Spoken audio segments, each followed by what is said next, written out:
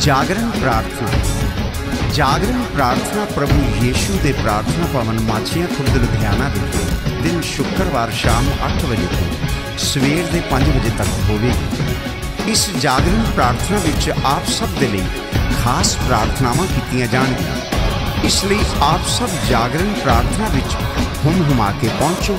ਆਪਣੇ ਅਤੇ ਆਪਣੇ ਪਰਿਵਾਰ ਦੀ ਸੁਖ ਸ਼ਾਂਤੀ ਅਤੇ ਬਰਕਤਾਂ ਹਾਸਲ ਕਰੋ। ਸੋ ਇਸ ਲਈ ਯਾਦ ਰੱਖੋ ਜਾਗਰਣ ਪ੍ਰਾਰਥਨਾ ਪ੍ਰਭੂ ਯੀਸ਼ੂ ਦਾ ਪ੍ਰਾਰਥਨਾ ਭਵਨ ਮਾਛੀਆਂ ਖੁਰਦ ਲੁਧਿਆਣਾ ਵਿਖੇ।